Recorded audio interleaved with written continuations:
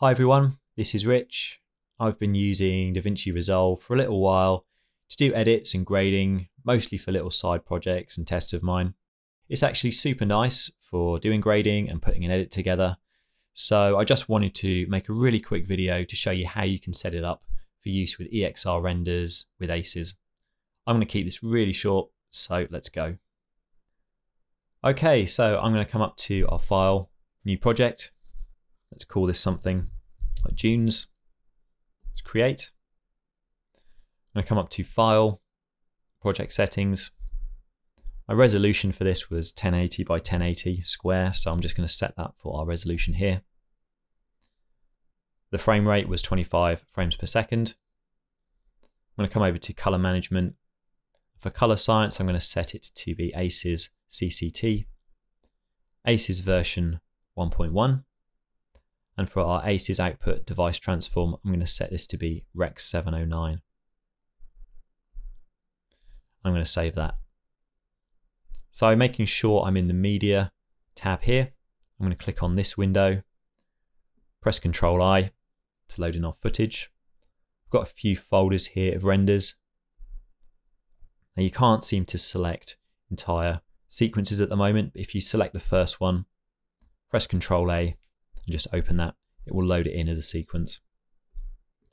So I'm just going to go and grab those other ones quickly. Press Control A, open, Control I, Control A, and open. So at the moment we haven't got our aces applied to this footage, so I'm going to select all of these. I'm going to right click, I'm going to come down to aces input transform, come over to here, and if I press page down, it will jump to the bottom of the list. You won't be able to see this on the screen, unfortunately, but we want to choose ACES CG from the bottom. And now this has got the ACES CG lookup applied to the footage. So let's go to our edit, select all of these, and we can just drag this into our timeline. So now you can do all your editing. You can press B for blade to cut the footage. A is your selection tool if you press uh, backspace, does a ripple delete. If you just press normal delete, it will leave the space there. And you can, of course, just select individual clips and move these around. You can click on the edges here to sort of adjust these, and you can press T to slide through your footage. I'm press A again. One more thing that's useful as you're moving it around, you can see it snaps to the edges of your clips. You can disable this by either pressing N or pressing this little magnet tool here. So let's just line these up, just for example. Now, if you wanted to do any sort of effects on this, you've got Fusion here, so you can just click on this tab and it will take you to Fusion. We've got color correction here if you want to color correct your footage. If you've added audio, you've got Fairlight here, so you can add any sort of audio effects or audio processing. And finally, we've got delivery here. So you can set your output for your final specs. And let's come to add to render queue and you can just render all. So for color, you can come to the individual clips here and just click on them. And you've got a little corrector here. You can create other correctors just by going to add node, corrector, connect these up.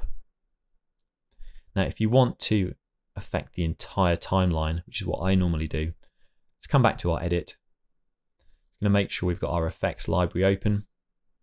And under effects, I'm going to choose adjustment clip and just drag this onto the top video layer here. I'm going to drag this out so it matches the full length of our clip.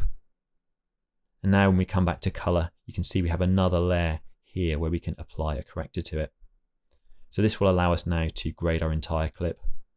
We've got a range of different ways of grading things now got this new HDR mode, which is interesting because it allows you to sort of target different light ranges of your renders.